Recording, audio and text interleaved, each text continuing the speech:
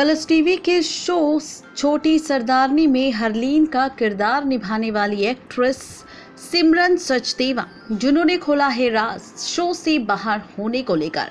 उन्होंने बताया है कि आखिर क्यों वो शो से एग्जिट ले रही है। जी हाँ Simran Sachdeva on reason behind her exit from show.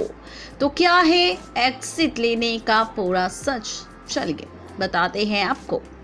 बता दें कि जहाँ पर लॉकडाउन चल रहा है, लेकिन अब महाराष्ट्र की गवर्नमेंट परमिशन दे दी है सभी इंडस्ट्री को शूट करने की। लेकिन इस बीच खबर है कि कई सारे शोज़ ऑफ़ एयर होंगे तो कई सारे शोज़ में से जो किरदार हैं, उन्हें रिप्लेस किया जाएगा। और ऐसे में खबर आई है सीरियल छोटी सरदारनी की हरलीन यानी कि सिमरन सचदेवा को लेकर जो रिप्लेस हो रही है दृष्टि गरेवाल से। जी हाँ आपको बता दें कि आखिर इस रिप्लेसमेंट की पूरी सच्चाई क्या है?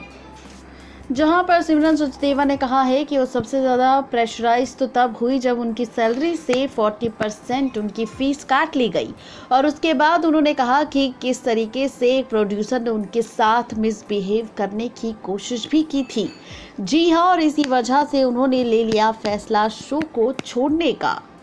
इतना ही नहीं, सिमरन सचदेवा ने यह भी कहा कि उस प्रोड्यूसर ने सिर्फ़ मिसबिहेव ही नहीं, बल्कि एक्सट्रीम लेवल पर डिसरिस्पेक्टफुल और रूडली सिमरन सचदेवा के साथ बात भी की थी।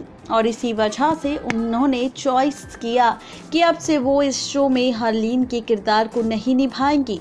और इसीलिए अब उन्होंने फैसला लिया कि अब वो इस शो में काम नहीं करेगी। और इसी वजह से सिमरन सचदेवा को रिप्लेस कर दृष्टि गरेवाल को हरलीन के किरदार के लिए चूज़ किया गया।